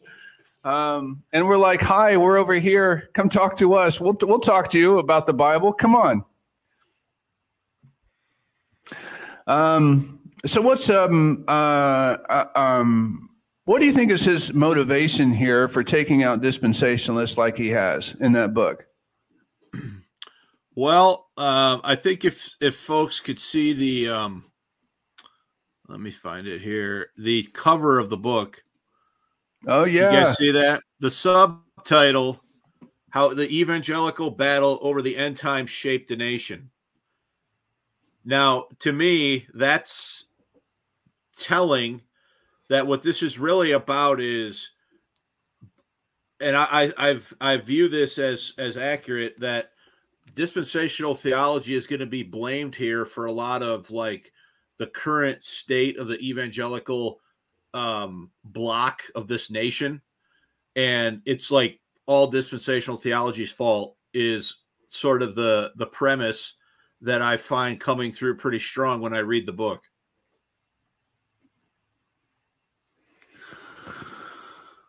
Uh, so it's it's it's got a bit of a progressive political motivation behind it. I think. Um. All right. I noticed in the live chat there's a comment about. I, you know what? I don't think I, I didn't miss the comment. I don't think we want to comment on it, Amy Chiita. So no problem. There was a question here about uh, Osteen's short-lived video on the King James uh, that was on and off and got deleted quickly. Uh, uh, I'll, you know, um, there's well, there's awareness of it. Uh, they have talked. Uh, they're still friends. Um, anything you want to say about the Osteen video on the King James? Um, there's a question um, in the live chat. All all I will say is that I'm aware of the video. Um, we've talked. He and I have talked about the video. Um, I as far as I know, you know, we're on speaking terms and, you know, um, agreed to talk about matters related to this. I, I, from my point of view, I feel like there's, there was a good outcome uh, from the situation, but I don't really feel it's probably a good idea to talk about exactly, you know, what was going on there other than to say, um, I find I found Brother Osteen to be very gracious um, in the way that he handled it and withdrew the video. And so I don't have anything uh, negative to say about any of that at this point. Yeah, I, yeah. I love I love brother David. I love him. I, I got to hang out with him and Bryan a couple of years ago. Loved it. Uh, I loved all the fun I had with uh, David Osteen. I can make him laugh. I love him as a brother. I I think he's a he's a great guy. Uh, you know, the pastors are all human beings. you know, not, not, me, not Bryan, not Dave. Ain't nobody's perfect. Uh, we're just no. all in this together uh, on this. Uh, we're all aspiring to achieve the same things together. You know, uh, so I don't. I, I, personally, I don't have anything extra to add to any of that either. Okay. Uh, are there? Uh, um, are there any other thoughts that you want to talk about, David? Bryan, sorry. Um, I have lots of thoughts on Dave Reed. David Reed, that's right. No, oh, kidding, yeah, uh, I gave him enormous grief uh, the other day about the app on his on his, his CBC app because um, the uh, he had you know you know David is I mean he is KJV only. I mean he is, and yeah, when the first time we had him on this podcast, he uh, we, he, he grabbed a random Bible in the auditorium, and somehow I we don't know how it turned out to be a New King James, and I have not heard the end of that for years. And then a, a guy in the audit in the in the assembly pointed out to me after church on Sunday that he says, "Have you ever have you seen David's app? Because you know you go to the Bible section and it defaults at the NIV." and so I, I sent him a text and uh, and uh, showed him a screenshot, and I said, "Brother." Are you even saved? and they, oh, I got a phone call from David and Stephanie. It was, we laughed our heads off. It was great. I, yeah, I love me some funny. David. Um, you guys have been close friends for years. I think, wasn't David your best man at your wedding? Um, no. Um, I was in David's wedding. David was not in our wedding. Um, okay. Because of just the timing of you know, when we met and we met I met David Reed in the late 90s at a uh, the conference in Chicago. Um and then I didn't see him again until like uh, March 2021 at a conference in um, in Tennessee, and then he was dating Stephanie. They were engaged at the time, and my wife and I were newly married. So we kind of not only were Dave and I sort of friends, but like my wife and Stephanie um, became friends as well. And then we were in their wedding. Um, I'm just, I had, let me see here. I've got this. I, I got to make sure, see if we can get a comment from you about this other thing. Uh, and then we'll and then we'll close it down. Do I have here we go. This this I love. I love this way too much. Look at this. Look at this. Uh, I don't know who that is. Tell, tell me that this is you doing Christian metal, please. Yeah, that's what it was. That was a band practice back in the day. Do you remember the name of the band? Yes, I do. The name of the band is Mysterion. The, the Greek word for mystery. Oh, so you were the world's first Christian grace metal band, the mid sure. metal band. Uh, yeah, the world's I, I, first. Hands down, I don't think there's even any other contenders for that illustrious for that illustrious title. uh, was that Grace Bible College? You were in college that then? was. Yep. Uh, that was in the music room upstairs in the music room at Grace Bible College. Oh. We were getting ready to do a. We did do a few shows in those days. Uh, believe it or not. No. Uh, yeah. Um, nothing really big or anything, but uh, yeah, that's what that's what we were doing. How many songs do you did, did you guys have? Like an, I mean, you guys must have had enough songs to do a show, or did you just do covers? Uh, we did. We no, we had I'd say five or six original songs, and then we did a couple covers. Do you remember any of the original songs you guys wrote? Did you write the songs themselves, or was that like a uh, collective effort? It was a collective effort uh, as far as um, I, I, wrote a lot of the lyrics, um, which I don't. I had them all written down, and with multiple moves, and I don't know where they ended up, or mm. I, have I've lost track of them. But um, I wrote the lyrics, and then we wrote the music as a band. The guy playing the guitar was sort of the musical guy, as far as the oh, okay. the, the music yeah. itself. Do you remember the names of any of the songs or what they were about or anything like that? So uh, one of the songs was about um, in the very first lesson of Grace School of the Bible, Richard Jordan uses the Sea of Galilee, the Jordan River, and the Dead Sea as an illustration of spiritual life and how the Dead Sea has no outlet. And so it just collects all these pollutants and there's no life in it. and he used the illust- he used it as an illustration for your spiritual life that you can't just you can't just take doctrine in you have to also you know be putting doctrine out to other people or you're just going to be like a reservoir of knowledge that's just dead that doesn't go anywhere and so like that's i wrote awesome. a i wrote a song about that that's um, awesome so i don't that's even know awesome. he knows that but um, that's just awesome yeah. that sounds like a fantastic metal oh, it tune. was a great it was a great metal song yeah it was it was pretty heavy and stuff Did you guys and, never um, record any of your stuff like privately for your own personal uh, you know, enjoyment? Somewhere in existence is a cassette tape. I don't know where it is, but yes, there was a recording. Um, oh, that's awesome. Of, of a few things. Uh, let me see here. Uh, we've got um, Cheetah says she's kind of new to dispensationalism, just about three years now, but I consider myself a mature believer. Very good. Doesn't take long.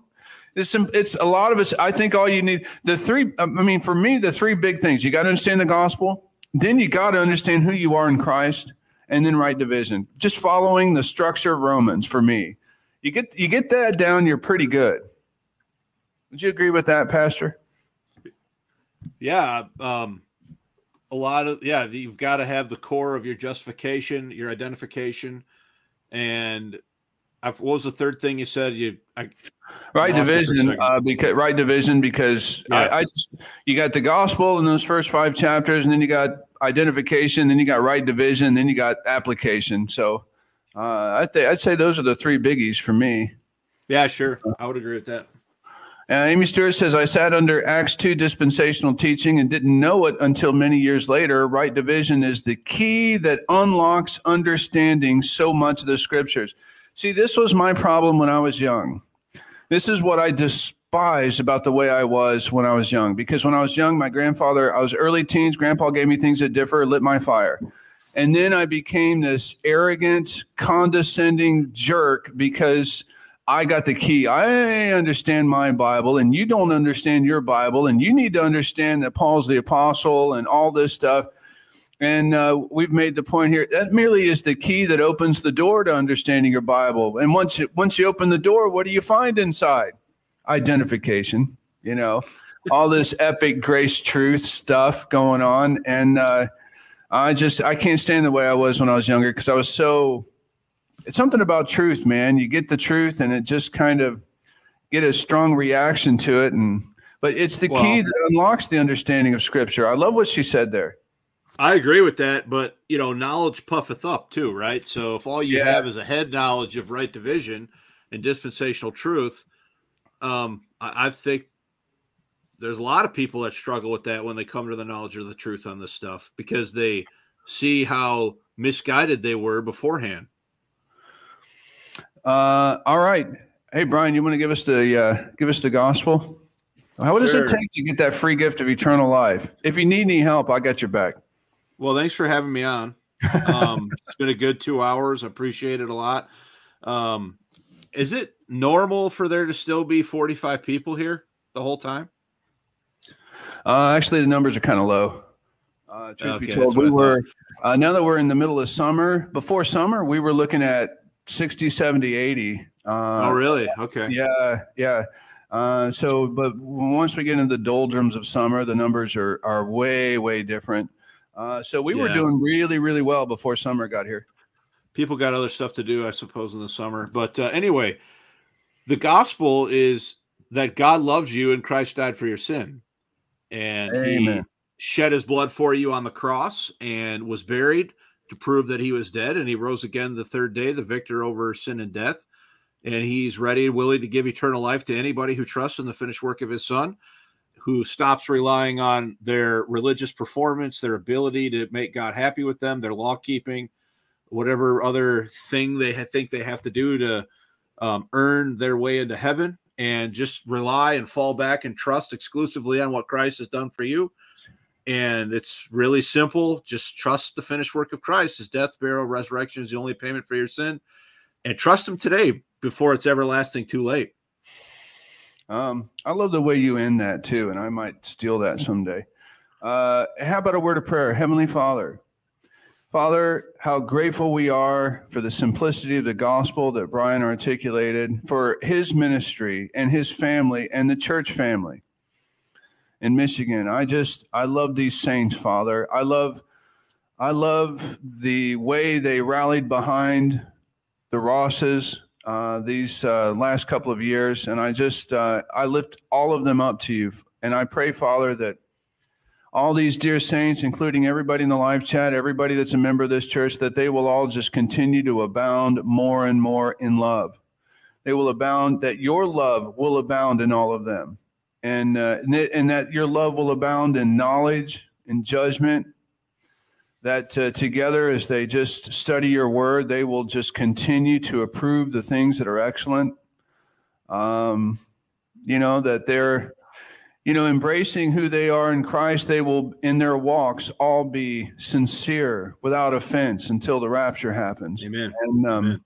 I pray, Father, that just they are, they will just continue to be filled with the fruits of your righteousness, which are by your Son and that everything they say and do will just bring honor and glory to your praise and to the praise of your Son.